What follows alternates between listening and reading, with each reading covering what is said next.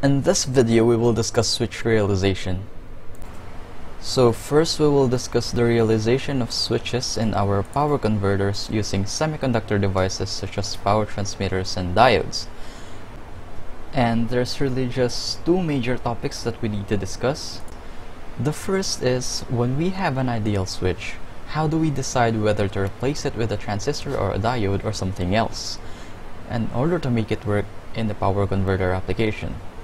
And I'm going to introduce in this lecture and the next several lectures the idea of single quadrant, two quadrant, and four quadrant switches and how to decide which one of these to use depending on the application. The second topic is we need to talk about the real semiconductor devices and so I'm going to discuss power diodes, power MOSFETs, and the power IGBT or insulated gate bipolar transistor, which are some of the most popular and major devices in use today. I don't want to get too heavily into semiconductor devices, but we're going to talk about them so you can appreciate what are the major limitations and uh, important features that we need to think about from the standpoint of their use in their power electronics.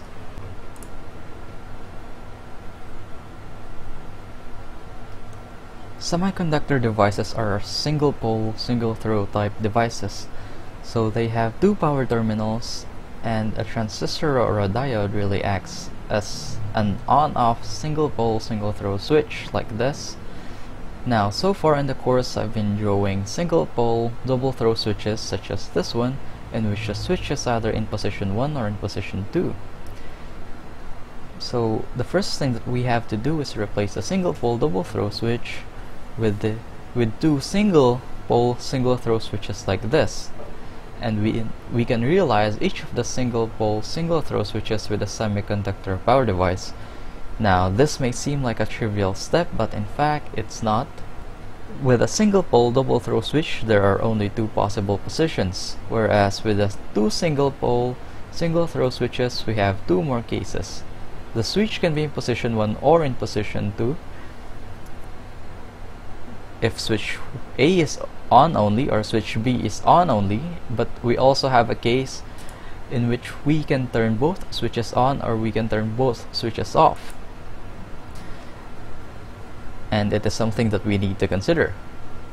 For this particular example of the buck converter, if we enable both switches at once, we basically destroy the converter because we short out the power source so we have a very large current flowing around this loop that can destroy the devices or at least cause a lot of power loss. So we have to go to some lengths in our drive circuit to make sure that that never happens even for a few nanoseconds.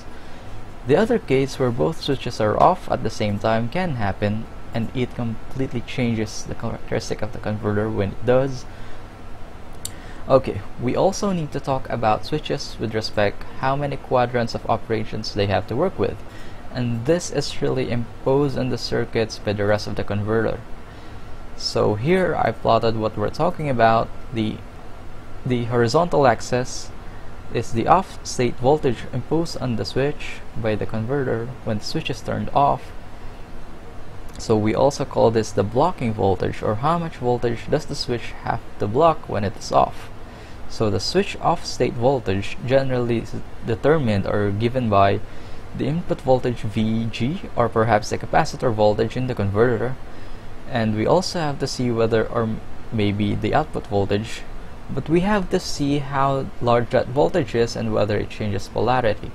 So perhaps it is positive at some values of duty cycle and negative at others, and that affects how we realize the switch. Likewise, the switch on state current is the current imposed on the switch by the external converter or by the converter itself when the switch is turned on Generally, the on-state current is an inductor current or some combination of inductor currents. And this can be a function of duty cycle also, and perhaps it's a function of the load current. So again, we have to see what is the on-state current and how does it vary with the duty cycle.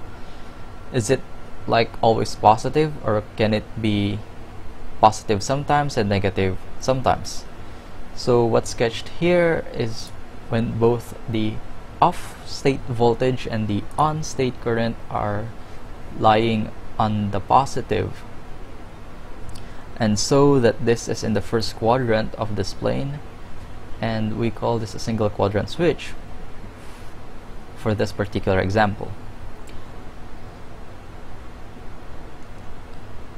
okay there are many possibilities in these in different applications we may require one or more of these.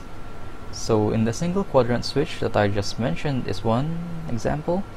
And in fact which quadrant does it have to operate in? You can see there are four possible quadrants and so there are four ways in that sense to realize a single quadrant switch. The next case here is called a current bidirectional two quadrant switch where the switch must conduct both positive and negative currents so perhaps one duty cycle the current is positive and at another it's negative but it only has to block positive voltage when it's off and so we call this a current bidirectional two quadrant switch. There are two possibilities here depending on whether the blocking voltage is positive or negative. The third example is a voltage bidirectional two quadrant switch in which the switch has to block both polarities of the voltage when it is off but only conduct one polarity of current. And finally, the four quadrant switch is the most general case where the switch may have to do anything. It can block either positive or negative voltage when it is turned off and it can conduct either positive or negative current when it is turned on. So this is the most complex case to both control and to realize with semiconductor devices but there are examples most notably the AC to AC type converters that that need four quadrant switches. Okay so let's talk here about the single quadrant case. So here I've defined a switch an ideal switch. I've defined a voltage across the switch with some polarity and I've defined the current is flowing from the plus terminal to the negative terminal of the reference voltage of the switch. And so if the on state current and the off state voltage are of the single polarity then we have a single quadrant switch. Further, we have what are called active switches, and in these switches, a switch state, whether it's on or off, is controlled only by a control terminal, like the gate of a MOSFET or IGBT. And so if you we know at any given time the conducting state of the switch by the control signal that we have applied to it. On the other hand, a passive switch doesn't have a control terminal, for example a diode, and instead its switch state is controlled by the converter waveforms that are applied to the switch. So if the converter voltage or current forward biases the diode then it will the switch will be on for example. The silicon controlled rectifier or SCR is a special case. It is turned on with a control signal so the turn on transition is active but once it's on it behaves like a diode in which it won't turn off until the external circuit or the power converter circuit reverse biases the SCR. Okay, so here's the diode and what I've drawn here is different than the on state and off state voltage. This is the voltage versus current characteristic of the diode. You know you can think of this as the classic exponential characteristic of the diode that looks like this and I've idealized it here to ignore the forward voltage drop and put the IV characteristic right along the axis. Okay, so when the diode is on, basically it conducts positive current and when the diode is off, it blocks negative current. Negative voltage, I'm sorry. So in the planes that we have been drawing in the previous slides, the off state voltage is negative and the on state current is positive and so the diode operates in this quadrant the second quadrant So if we work these quantities by solving the converter to find its voltages and currents and see what it applies to the, the switch and it turns out that we get quadrant 2 then we can realize it with a diode like this. Incidentally, suppose I had this define the voltage in the other direction, I'm free to do that. We could just as well define the voltage upside down and this is an arbitrary choice of the outset. So if we define voltage that way, then we have to define the current consistently as flowing from the reference positive to the negative terminals and if we did that we would find that the diode would operate in the fourth quadrant instead of the second so if we do our analysis of the converter and see the applied voltages and currents on our switch and it turns out to be in this fourth quadrant then we know we need to connect the diode in the opposite direction to realize the switch okay power transistors such as the bipolar junction transistor or the newer insulated gate bipolar transistor, are devices that have, if we plot the instantaneous voltage and current, they have characteristics like this. Depending on the gate voltage of the IGBT or the the base current of the BJT. And so these devices when they're on they operate with a voltage in this part of the, the curve that is close to zero voltage and they conduct positive current. When they're turned off by their control terminals and the characteristic is here and they can block positive voltage. On the other hand, practical transistors such as such as these generally are not capable of blocking significant negative voltage. And if you plot the reverse characteristics it does something like this. And the device will break down if you apply more than a few voltage a few volts of reverse voltage. So this is a practical detail in how the devices are built so they are not capable of blocking significant reverse voltage and basically we then we can approximate the approximate IV characteristics of this like this. This is the off state and the positive horizontal axis and the on state is nearly on the positive vertical axis. And so we we actually have a single quadrant switch that operates on the first quadrant the MOSFET is, is very similar. It's also a power transistor in wide use that has similar forward characteristics so it can conduct positive current and block positive voltage. In addition, the power MOSFET channel is symmetric and it can actually conduct reverse current as well. But in addition to that, the MOSFET also has what's called a body diode that is a built-in diode that comes from shorting the substrate of the MOSFET to the source of the MOSFET. This adds an extra PN junction that effectively acts like a diode in parallel with the MOSFET channel. And so the diode can also conduct reverse current. So in that sense, the MOSFET is a current bidirectional device. I have to add a few caveats to that though because the body diode in many MOSFETs is not optimized to be a good fast recovery diode. We'll talk about that in the future. And in fact the diode is slow enough and you you can switch it off quickly.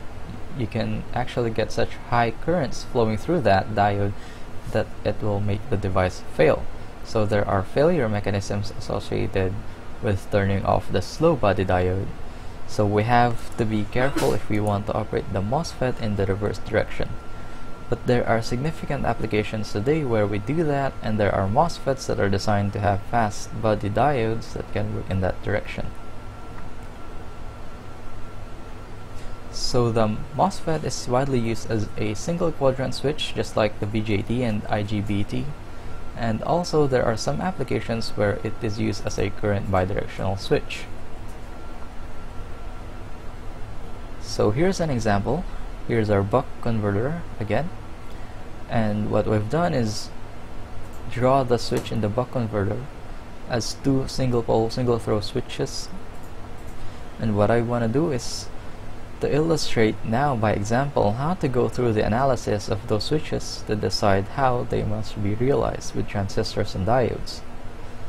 So what, what I've done is I've labeled in switch A and switch B and I've arbitrarily defined voltages across the switches. So VA we've defined as a reference direction as plus on the left and minus on the right we could might as well choose it the other direction but this is what we've chosen. Having chosen that the direction of the current is from the switch.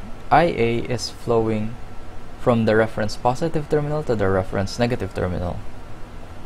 Likewise for switch B I'm going to define arbitrary voltage as having a reference direction as having a plus on the bottom and minus at the top and so the reference direction for the current IB flows from plus to minus of switch B. Now what we have to do is to figure out what is the on-state voltage or on-state current imposed on each switch by the converter and also what is the off-state voltage that the switches have to block. So let's do switch A first okay so when the switch is on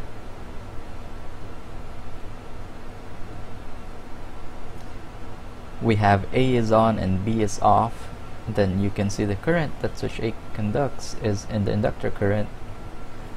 So IA equals IL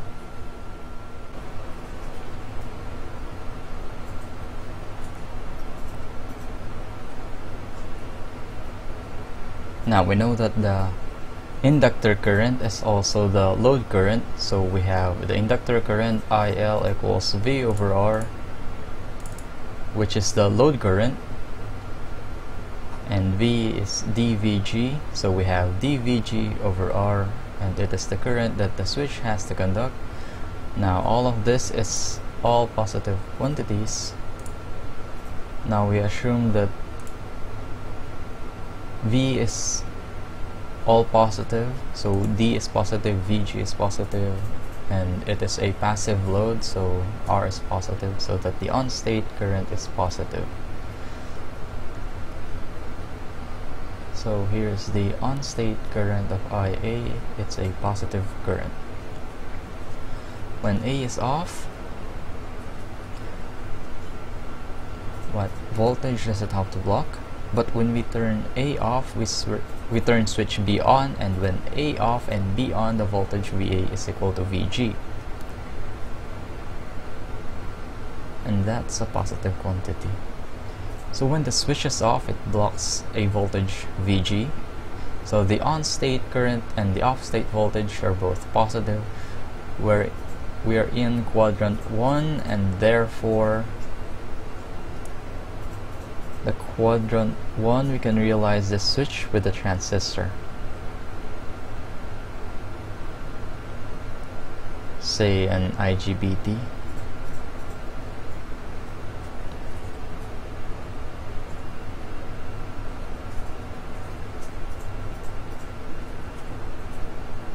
okay so with an IGBT we can block positive voltage and conduct positive current which is how it's designed to operate. Okay let's consider switch B next. When switch B is turned on and switch A is off what current does it conduct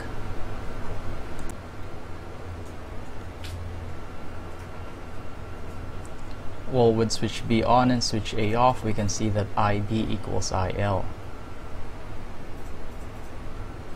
and the defined polarities of IB and IL are the same in this case and so the positive quantity and we're conducting positive current.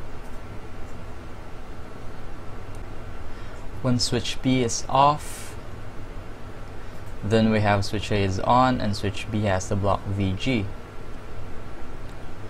but be careful the way we define the direction of VB VB is actually minus VG which is a negative quantity So we have to block the negative voltage.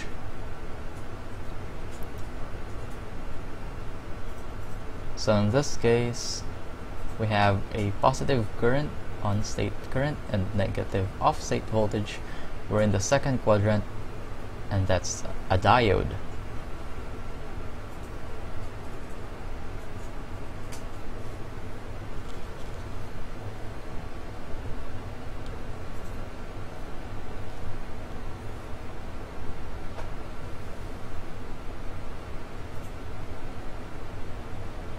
Okay, so switch B must be realized with a diode.